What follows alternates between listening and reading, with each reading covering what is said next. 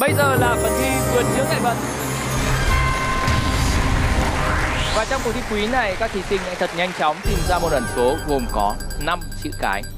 Và người đầu tiên lựa chọn một từ hàng ngang, xin mời Tuấn Khoa. Em chọn hàng ngang số 2. Hàng ngang số 2 gồm có 4 chữ cái. Các bạn hãy điền từ còn thiếu trong đoạn bài hát sau.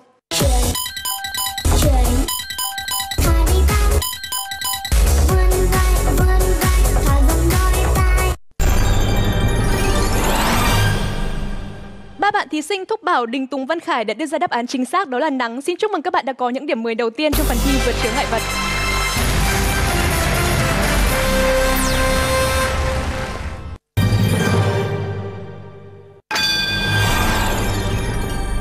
Một tiếng chuông vang lên trong sự bất ngờ của tất cả chúng ta đến từ vị trí đứng thứ tư của Văn Khải. Xin mời Văn Khải. Câu trả lời chướng ngại vật của em là xương. Câu trả lời của Văn Khải là xương. Hiện tại bây giờ bạn đang cảm thấy cái độ phần trăm chắc chắn và tự tin về câu trả lời này như thế nào ạ? Em em cảm thấy không ừ, em không thể nào đúng được nhưng mà đã tự đã chơi rồi phải cố hết sức thôi, phải liều.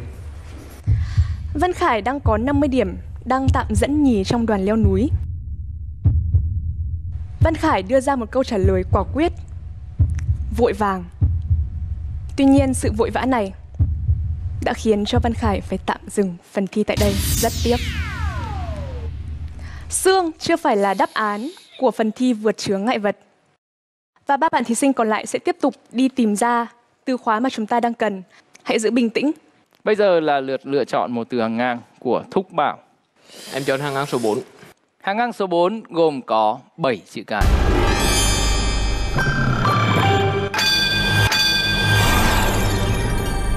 Câu hỏi của hàng ngang số 4 được hiện ra thì chúng tôi tiếp tục được lắng nghe những tiếng nhấn chuông từ Thúc Bảo và Tuấn Khoa. Xin mời Thúc Bảo. Chướng ngại vật của em là mùa hè. Xin mời Tuấn Khoa. Ờ, chướng ngại vật của em là bức xạ. Mùa hè, bức xạ. Hai từ khóa mà các bạn đưa ra cũng có những liên quan nhất định với nhau. Thúc Bảo cảm thấy như thế nào về câu trả lời của mình? Em vẫn cảm thấy là em phải bấm thôi Vì ờ, sau bài học rút ra từ cuộc thi tuần thì em muốn liều Tuấn Khoa thì sao ạ? Dạ, lúc đầu em cũng nghĩ là mùa hè nhưng mà do bạn Thúc Bảo bấm trả lời mùa hè rồi nên em đành phải kiếm một câu trả lời khác cũng có năm chữ cái tương tự. Dù biết rằng nó không chắc chắn. Dạ vâng. Cuộc thi quý là một cuộc thi vô cùng quan trọng. Cả bốn bạn thí sinh đều ngang tài ngang sức. Cho nên đương nhiên, phần thi vượt chướng ngại vật không hề dễ dàng một chút nào. Lần này tôi xin thông báo. Chỉ một người duy nhất. Tiếp tục thi phần thi vượt chướng ngại vật. Đó là Đinh Tùng. Rất tiếc cả ba bạn đã phải tạm dừng phần chơi ở đây với những câu trả lời vừa rồi. Sương, bức xạ hay mùa hè đều không phải là những từ khóa mà chúng tôi đang đi tìm kiếm. Bây giờ chúng ta sẽ cùng xem câu trả lời của Đình Tùng ở câu hỏi vừa rồi. Mặt trời và đó cũng là đáp án chính xác Xin chúc mừng bạn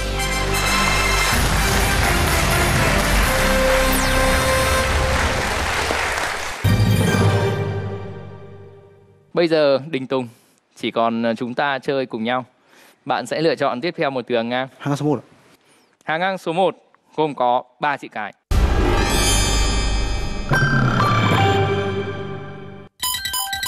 Là màu có thể nhìn thấy có bước sóng ngắn nhất Một lần nữa xin được chúc mừng Đình Tùng Tím là đáp án chính xác.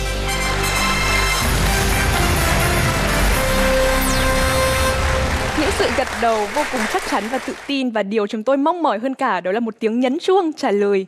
Từ khóa của vượt chướng ngại vật. Vâng Vâng và chúng tôi đã được lắng nghe tiếng nhấn chuông đó. Xin mời Đình Tùng. Câu trả lời của em cho chướng ngại vật của em là tia UV.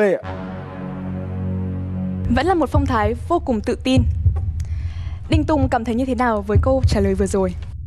Em nghĩ là đến hàng ngang này thì em nghĩ là nó có thể nó đúng rồi Và nếu như lần này Đình Tùng trả lời chính xác vượt chướng ngại vật thì bạn phải cảm ơn cả ba bạn thí sinh còn lại rất nhiều đúng không ạ? lần này thì chúng tôi xin chúc mừng Đình Tùng tiếp tục giữ vững ngôi vị dẫn đầu của đoàn leo núi.